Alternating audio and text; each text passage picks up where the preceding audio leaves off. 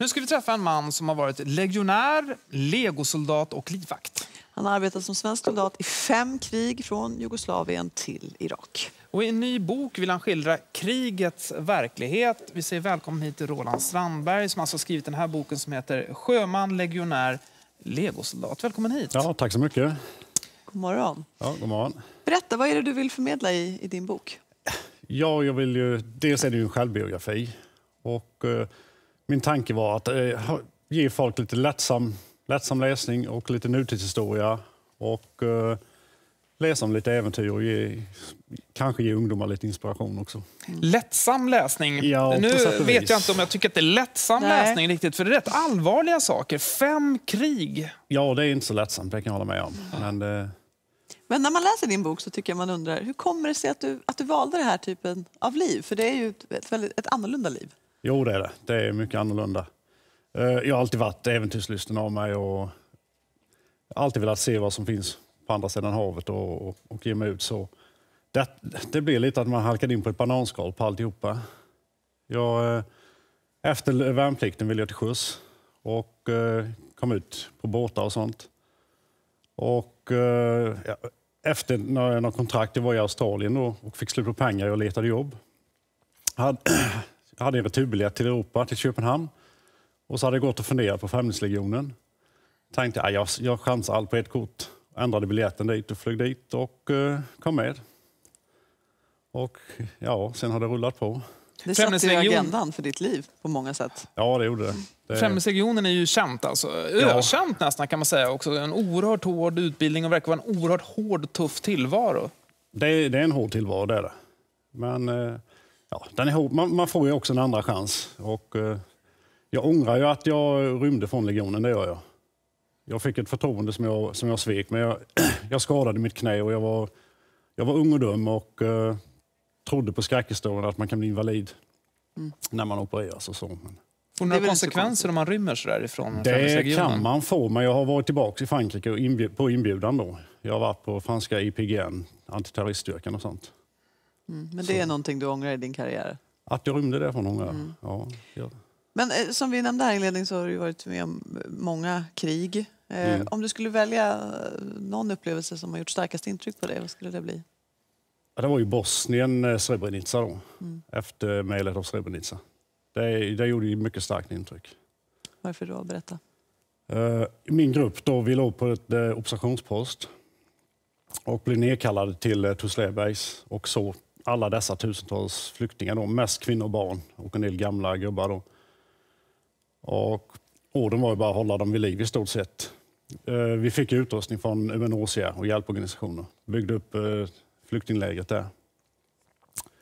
Och vi, ja, jag hittade en, en liten grabb som var 12 år gammal som kunde engelska och gick runt med han. Jag fick, min grupp vi var nio man. Vi tog hand om 740 flyktingar. Oj, Ja, det är många. ja, många föräldralösa barn och sånt. Då. Så, eh, den här lilla grabben hjälpte mig att ta alla namn och ta namnen på anhöriga och sånt. Och vi fick ju höra allt vad som hade hänt. Vi ser bilder här från ditt eh, arbete. Men du, hur, Ja. hur, hur bearbetar man eh, sånt man upplever när man har det jobb som du har haft? Det gör man tillsammans med dem man jobbar med, med kompisarna. Är ni bra på det? Och, och briefa? Ja, det, det, är vi. det är vi. Men får ni ingen hjälp ut, utifrån? så att säga? Ja, militären började med det här med efter varje mission så hade man ju psykologsamtal och man satt gruppvis. Och det var väl inte så bra i bör- till en början, men det har ju, det har ju förbättrats. Och man får ju prata igenom upplevelser och sånt där. Jag tänker, det är en sak att man är eh, soldat i, i Sverige, svenska armén, kanske på utlandstjänstgöring, eller man kan vara FN-soldat. Men legosoldat, det, är Ja. ju, det är ju någonting annat. Ja, Och det är inte alltid att jag tycker att det klingar så väldigt vackert. Nej, Vad är skillnaden? ja, titeln är ju lite missvisande kanske. Eh, Det var inte jag som valde den, men det var en annan som trodde den skulle sälja bättre. Ja, det väckte mitt intresse som du märker. Ja, det, ja, det, det är positivt på så sätt. Legosoldat, alltså, då kan du ha li, lite vilken uppdragsgivare som helst egentligen. Jo, eh, vi kallar oss själva contractors. Jag har jobbat åt eh, ett brittiskt företag. Då. Och vi ser oss inte själva som legosoldater, utan vi, vi skrattar ju mest åt folk som kallar oss för legosoldater. Det, en legosoldat i mina ögon, det är, det är ju en stridande som strider för en part i ett krig. Vi var ju absolut inte stridande, utan vi var ju livvakter. Vi skyddade diplomater, hjälparbetare, höga officerare och sånt.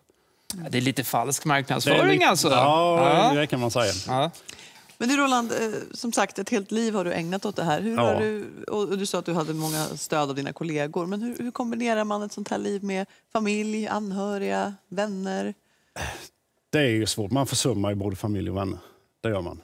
Och speciellt under så, så lång tid som jag har hållit på med detta. Det är hela mitt liv i stort sett. Och det är, jag försummade mina föräldrar, speciellt de, de sista åren i deras liv. Och det, det är no, någonting jag också ångrar. Jag skulle, jag, skulle tillbringa mer tid med dem. Hur eh, ser ditt liv ut idag och när du ser framåt? Är det, kommer du fortsätta med det här som hela den här boken är fylld av? Berättelser som du är med Det beror nog lite på. Just nu jobbar jag som säkerhetsofficer på ett kryssningsfartyg i Kina och Vietnam. Så vi går, kör fina kryssningar och så. Lite kontraster. Det är lite, det är Ja. lite kontraster, ja det är det. Eh, skulle jag bli erbjuden ett lukrativt, intressant kontrakt, typ mot en ambassad eller någonting i en högriskområde, då kanske jag skulle ta det. Men eh, ja, författa... Ja, den Det har karriär- Ja, jag startade författarkarriär och det, jag, har, jag har mycket mer och många Mer mer att berätta. Ja, det har jag. Det är ju 30 års liv på 270 sidor. Väldigt intressant bok Roland. Vad Ja. kul att du var med oss. Tack så Ja, mycket. Tack så jättemycket. Lycka till Ja, framöver. tack.